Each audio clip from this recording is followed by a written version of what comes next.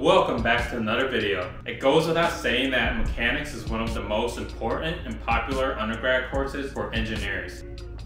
That's why uh, uh, getting the right textbooks can make or break your grade, especially if your professor sucks at teaching and is a jerk. I think that's enough lifting for one day, so let me put this down. I'm sure many of you guys can relate, but don't sweat it because in this video, I'll be going over everything you need to know about all the engineering mechanic textbooks available on the market. That includes authors like Hibbeler, Beer, Bedford, Meriam, Plesha, and Limbrunner. I'll first be reviewing all the statics books in this video, and then all the dynamics books in another video, so definitely be sure to check that out as well. At the end of this video, I'll be making a final comparison and recommendations, and hopefully you'll know exactly which book you will need to ace mechanics class. The links to the Amazon pages for all of these books are in the description below, so if you found any to be interesting, definitely check them out. If that sounds good to you, be sure to subscribe and smash the like button. Your support goes a very long way and helps the performance of this video. With that out of the way, let's get started. Let's start off with the fifth edition of Engineering Mechanics Statics by Anthony Bedford. This is your standard mechanics textbook that presents the concepts in a fairly organized fashion and in a way that is easy to understand for students just starting out. This book is comprehensive and includes the core concepts that you will need to know, including scalars and vectors, forces, systems of moments, objects in equilibrium, structures analysis, centroids and centers of mass, moments of inertia, friction, beam theory, and virtual work. What I like particularly about this book are the concise chapters and example problems provided in each section that demonstrate the applications of key concepts. The level of difficulty is perfect and the solved problems don't make you want to pull your hair out. One caveat I will mention is that this book assumes that the reader has a basic understanding of calculus, physics, and chemistry, so definitely keep that in mind. This book contains a lot of practice problems that can be somewhat challenging and overwhelming, but overall are great problems that will help you develop a deeper understanding of the material and excel on your midterms and finals. A handful of the answers in the back of this book are wrong, but the bright side is that the step-by-step -step solutions to all of the problems are offered on Chegg. I definitely recommend this book for anyone who likes to learn through doing practice problems. On to the 14th edition of Engineering Mechanics Statics by Russell Hibbeler. This is one of the most popular mechanics textbooks for engineers, and rightfully so. This book is super comprehensive, the explanations of all the concepts are exceptionally concise, and there are about four unique examples per section that effectively help solidify your understanding of the material. Concepts the author covers include general principles of analysis, force vectors, equilibrium of a particle, force system resultants, equilibrium of a rigid body, structural analysis, internal forces, friction, centroids, moments of inertia, and virtual work. Because there's a huge variety of practice problems at the end of each chapter ranging from simple to hair-pulling difficulty, there will be no surprises on your midterms and finals. The full-blown solutions for this book can also be found on Chegg. Overall, I really have nothing bad to say about this book and recommend it to anyone for self-study who is preparing for a final or even the fundamentals of engineering exams. I also want to point out that Hibbeler published another book called Statics and Mechanics of Materials. This book threw me off when I first saw it and I wasn't sure if it included everything in his standalone statics book, but it turns out that the book covers only about 70% of the material. What he leaves out specifically is equilibrium of a particle, space trusses, and virtual work. The remaining 30% introduces mechanics of materials concepts, including mechanical properties of materials, stress-strain relationships, axial loading, torsion, bending, shear, design of beams and shafts, as well as column buckling. I recommend getting this book if you only wish to develop a general understanding of statics and mechanics of material concepts from a single book and are reluctant to invest in separate books for these two subjects. The next book we'll talk about is also titled Statics and Mechanics of Materials by a different author named Ferdinand Beer. This is his third edition edition book that combines the theory behind statics and mechanics of materials into a single text. Overall, it does a good job presenting the core concepts of mechanics of materials. However, because the focus is more on mechanics of materials, the amount of material and practice problems it provides for statics is underwhelming in my opinion. So you are better off just purchasing a standalone statics textbook. Although the answers to practice problems are provided at the end of this book, the step-by-step solutions are not available on Chegg, so definitely mm. keep that in mind.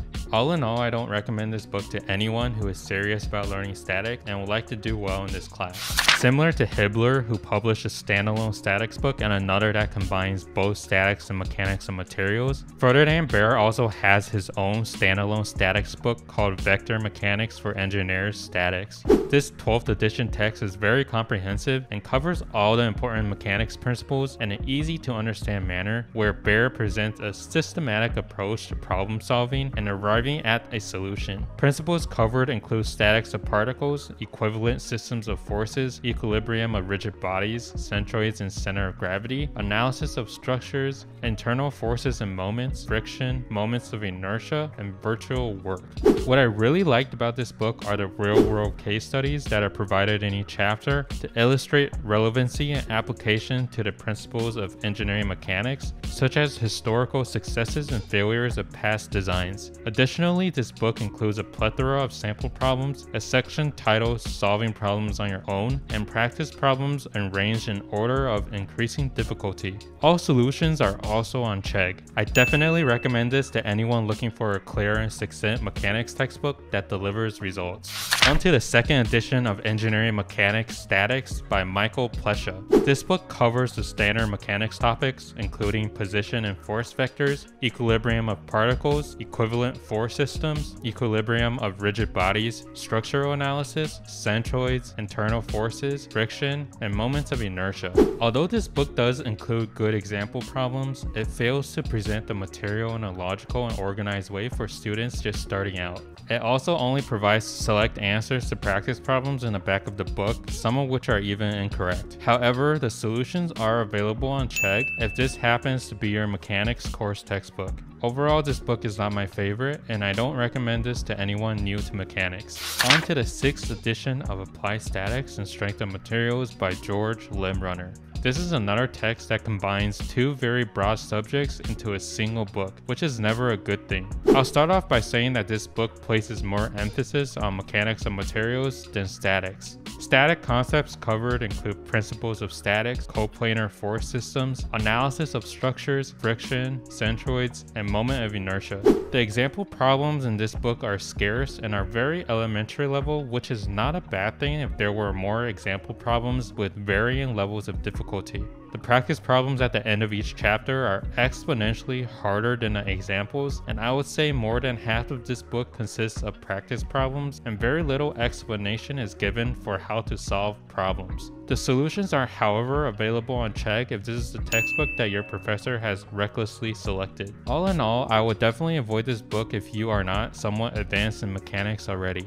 On to the 8th edition of Engineering Mechanics Statics by James Meriam. This book covers all the important static concepts including intro to statics, force systems, equilibrium and 2D and 3D structures, structures analysis, distributed forces, friction, and virtual work. What I liked about this book are the diagrams and illustrations, the speed at which concepts are introduced, and the appendix of static formulas in the back of this book. However, the cons of this book are that there aren't a lot of example problems and the author seems to skip a lot of steps with little explanation. Again, there are a good amount of practice problems in this book, but they are a lot harder than examples and only solutions to odd number questions are provided in the back. However, the solutions of this book are available on Chegg.